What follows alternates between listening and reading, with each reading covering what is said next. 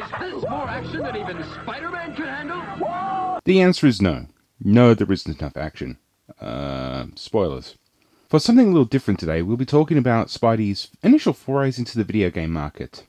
And let's just see how well they've aged, shall we? Watch me cut my web, Goblin. Watch yourself fall, Silk Slinger! Stop the bombs in time. Welcome to Does Whatever a Spider Can, in which we take a look back at the webhead's long and varied gaming career and find out just how much they replicate Spidey's signature powers. First up, we're going to go all the way back to 1982 the year that gave us the box office smash hit E.T. the Extraterrestrial, and the almost equally big bomb that was E.T. the Extraterrestrial on the Atari 2600, aka the game that almost destroyed the video game industry.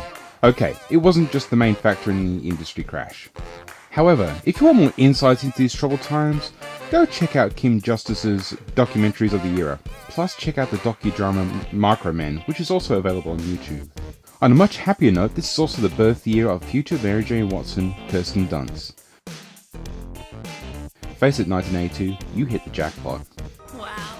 Going back to the Atari 2600, this is also the year that our favourite webhead got his first video game release on that very system. Spider-Man was developed by Parker Brothers, yes, the board game guys, which not only marks his first appearance in a video game, but the first official Marvel Comics video game of all time. Sadly, Spidey wasn't the first comic book character to get a dedicated video game, as Superman beat him to the punch in 1979.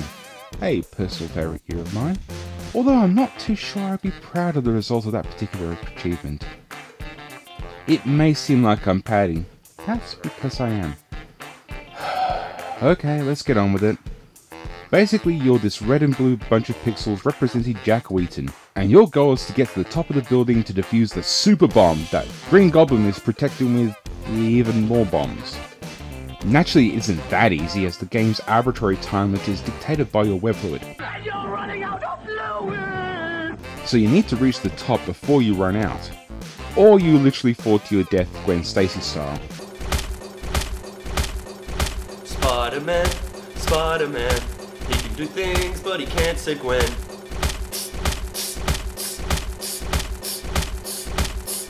Along the way, you encounter these red and black block things that are supposed to be criminals who just randomly teleport all over the building. And if you manage to web swing into them, you will gain some of your web fluid and score some points. There are also bombs among the scaffolding that, if you manage to collect them before they go off, they will also score you some points. Remember kids, this was made in the days when people actually gave a damn about such things like high scores. You know, before people figured out how pointless they actually were. So you get to the top, avoid the patrolling gobby, swing into the bomb, save the building, the whole world celebrates, and J. Jonah Jameson writes an article about how you teamed up with the Green Goblin to blow up the building. Unfortunately, I made it most of the last part as you just continue on to another, much taller building and you just rinse and repeat. Gaming was much simpler back then, and raising the stakes might have been taken a little too literally, although that's not going to say that the game is anyway easy. Before we move on, let's just quickly talk about the sound, more precisely the lack of it. This was a common trait with the Atari 2600, as there were very few instances of music on the system, and most of the sound effects were basic at best.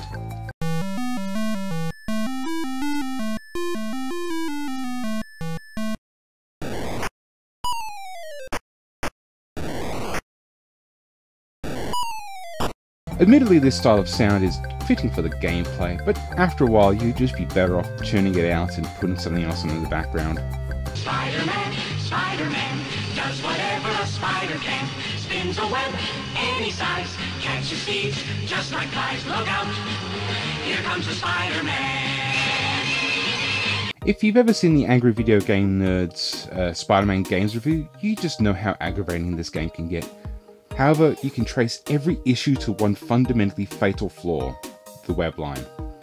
The entire game is based solely around this one game mechanic, and as such it's reduced Spider-Man's web from being strong enough to lift a car to the fragility of cotton candy.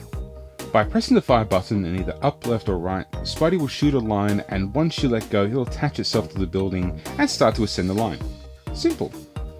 Well, this is where the difficulty sets in, as you can only attach the web to the building, and if anything, and I do mean anything, else touches it, then only do you not connect, but you instantly fall to your doom. If you're quick or capable enough, you can recover to avoid a premature end to your crime fighting career. Otherwise, it's a short trip to pavement world. This is a problem as sometimes you think you've attached to the building, but sometimes you miss and splat goes the Spidey. I'm honestly not sure if this is a control response issue or a pixel recognition issue, but sometimes you think you've hit the edge and it just doesn't connect. Other times you're sending your line out and some criminal scumbag interrupts the line and down you go. Hell, touching a bomb, even a super bomb causes your web line to instantly detach. Pete, you really need to work on improving your webbing a bit more, buddy. Finally, we have a patrolling goblin who is so devious he clones himself in later stages. Goblin flies back and forth, and if you hit him or his line hits you, you drop. Honestly, Goblin is pretty simple to bypass, as long as you get the hang of working with the web line in the girder areas. Unfortunately, this is where the game ultimately falls flat.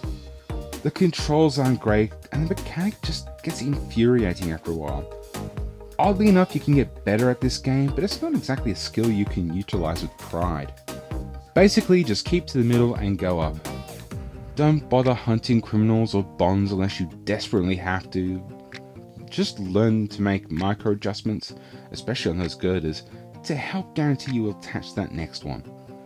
Have some patience to figure out the timing with Gobby and learn to swing into the super bond off to the side. You're done. Despite the difficulty ramping once you know how to get through these obstacles, it's pretty simple, but just doesn't hold up as it probably would have 35 years ago. So we can finally ask the main question, does it do whatever a spider can? Well, spider can shoot web, as much as it does any good that is. And that's about it. The wall crawler literally cannot. Spider strength isn't going to do much if you so much as touching someone makes you fall, and even if there was a spidey sense, it wouldn't stop you from plummeting to your death. Overall a noble, if misguided effort in the first video game, but ultimately on this one just doesn't stick, just, like the web line. If you desperately want to play this, then the game is available to play online in the Internet Archive via an inbuilt MAME emulator, links in the description section below. But don't go yet, look at that progress bar, I mean it's still a lot more video to come. I mean, this was obviously a first effort, and by the next time Spidey ventured onto our screens, the future that was microcomputers was in full swing. I mean, I bet we're going to get some great arcade action, especially considering the capabilities available on the machines such as the BBC Micro, the Commodore 64, DOS, or even the ZX Spectrum. A lot happened in the gaming world between 1982 and 1994. Technology improved, graphics and sound became more complex. So obviously the next step in Spider-Man's gaming evolution would be a bigger and better, and uh, it's a text-based adventure. Well, not exactly. As you see, this was available in certain systems with graphics, making it a graphical text adventure. Just probably not the sort you're actually thinking of. Questprobe is a series of text-based adventures which would not only see Spidey given his next starring role, but some of his amazing friends like the uh, Hulk and the Human Torch in the Thing. Really? The Hulk in a text adventure? Not exactly the first character that comes to mind when you're thinking reading and writing. Oh well. All the Questprobe games were designed by Scott Adams, not that one, for his company Adventure International, and they were released on many systems at the time, including the Atari 8-bits, the Apple II, the BBC Micro, ZX Spectrum, Commodore 64, as well as MS-DOS.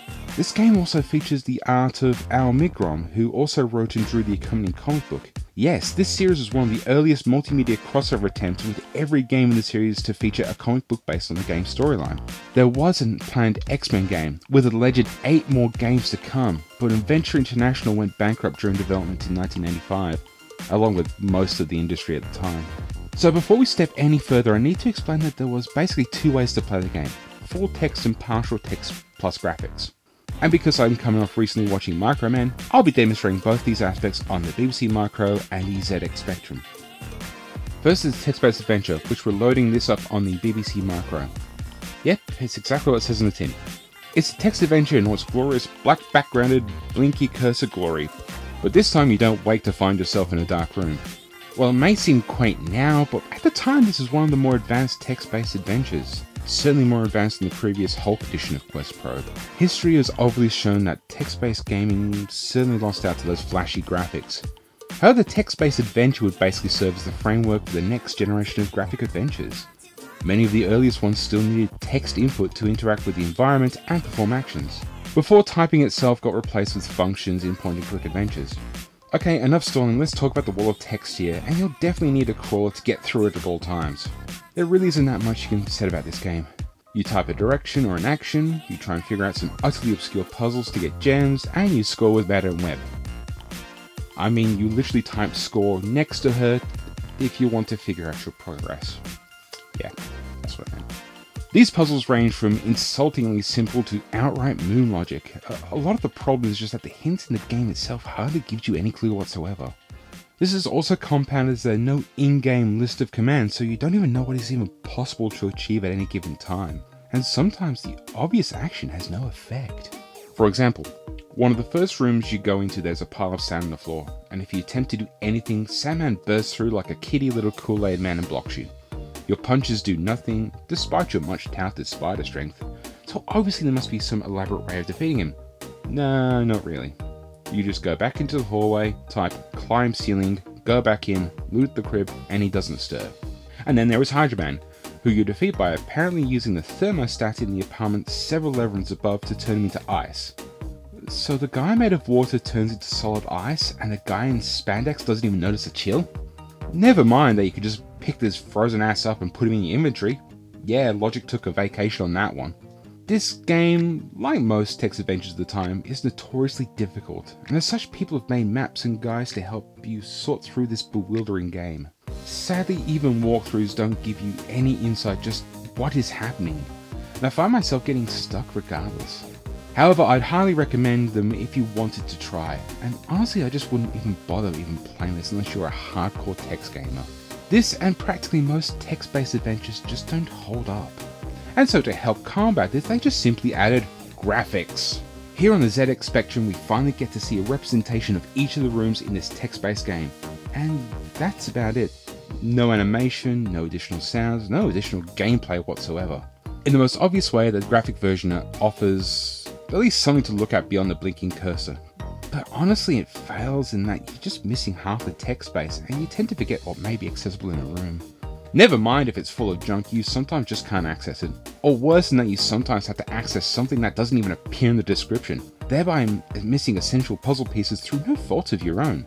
It does, however, have one of the most brilliant deaths in gaming. Yes, you can literally die in this game, but don't worry, you'll get better. Although, truth be told, it's hard to get into situations where you can get killed, but when you do, it's the triggers are often ridiculously easy. So, fighting a bad guy does nothing, mostly because they don't even attack and your punches are equally useless. But don't you dare try grabbing anything in the gem and egg room. You find yourself in limbo with a sign and you're given the option to go down and back into the original hallway. So the game itself must be punishment of some sort? Would you like to know the other, even more easier way to die?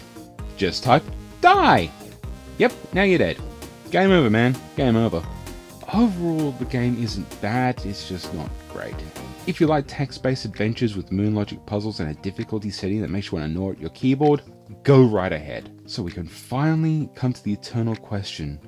Can you do whatever a spider can? And the answer is surprisingly yes, well for the most part. You have spider strength, which you can use to punch and break things, although you're not a vandal. Climbing on walls is an essential part of traversing through the building, and you can even make webbing once you figure out, but I couldn't even bother going that far. You still don't have any spider sense, but I guess that function is supplanted by Madame Web. And as you're not really moving, then all of Spider-Man's agility is severely crippled. Final thoughts are that these early attempts are noble intent, but suffer through technical restraints and simply being in the infancy of the genre itself. There are a couple of games from around the same era, so eventually we'll get to these, but for now I think I need a palate cleanser, maybe something a bit more recent to boot. If you enjoyed this video, please like, share and subscribe and comment, and the usual gaff. Special thanks to Imperial Scum for the use of his stud step, links in the comment below, but these are definitely not safe for work or for human emotions.